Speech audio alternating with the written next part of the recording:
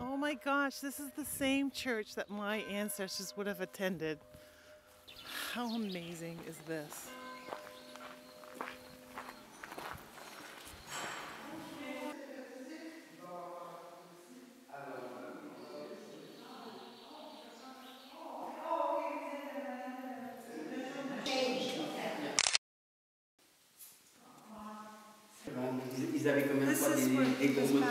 This is where he would have been baptized?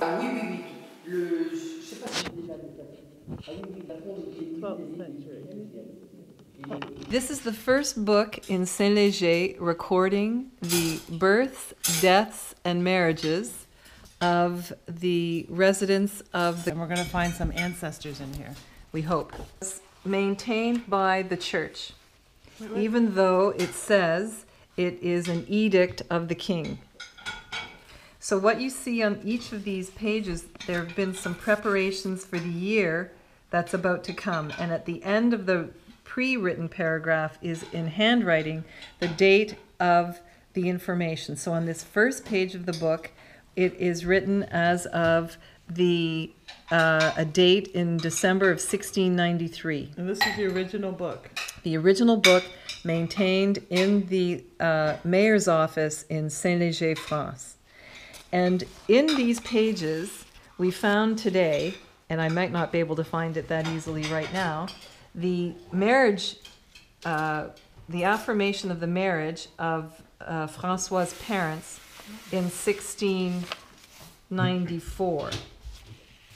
So let me just switch a few pages over. I'm looking, you see here, it says December 1695, so that's gone too far.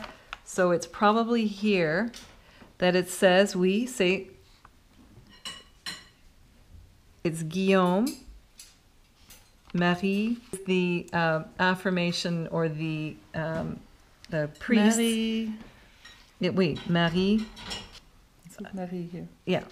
So this is it, and here is their signatures. Because they didn't write, they put X's.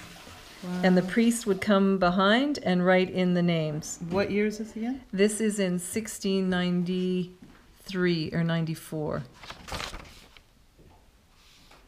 1694, December 1694. I thought it was Guillaume.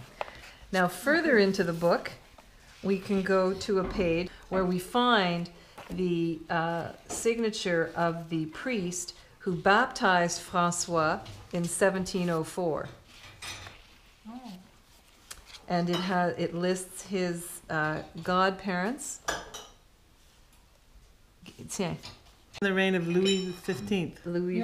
Non, non, non, non. En 1704, c'était Louis XIV ou Louis XV? Alors, dernière année de Louis XIV, 1704. Okay, so it's the last year of seven of Louis XIV. Louis XIV, It's in 1704. mort 1705. François, fils, fils de Guillaume le Breton du village de la Génétrie. Alors après, c'est euh, de Michel le Breton, son épouse. La naissance le septième jour de mars et fut baptisé.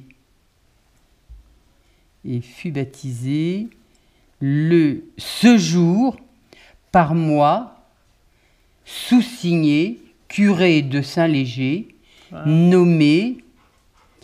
Là, là, on n'a pas déchiffré. José, viens là. Sur les là. fonds, Viens ici. sur les fonds, Viens les- c'est les fonds baptismaux. hein voilà. par François. Oh.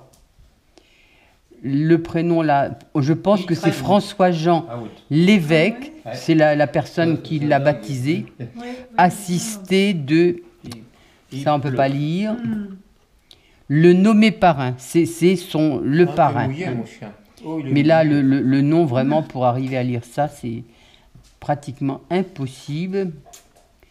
parce qu'ils il écrivaient pas bien du tout. hein. Oh, il est beau, Et là, et là, et là, euh. Saint-Léger, qui nous ont marqué au... Les couches. Et, et en fait, euh, bon, quand, comme dit euh, Diane, quand ils n'arrivent pas à signer, ils font des croix. Ouais. Quoique là, c'est surtout sur l'acte de mariage qu'on a vu les croix. hein. Parce que là, c'est- là c'est écrit. hein. Savais pas écrire. Il n'y a pas de croix. Mais sinon, vous voyez, ça fait des croix. Ils font des croix comme ça. Parce que bon, il y en avait beaucoup qui n'écrivaient pas à cette époque-là. Pas été à l'école. hein. Non. Et celui, là, l'écriture, elle était déjà belle, là, Oui. cette écriture-là. Alors ça, c'était écrit durant l'année 1704. It was written in 1704. That's amazing. Et, dans le même registre, on a, on a le mariage. Des parents de François. On l'a trouvé.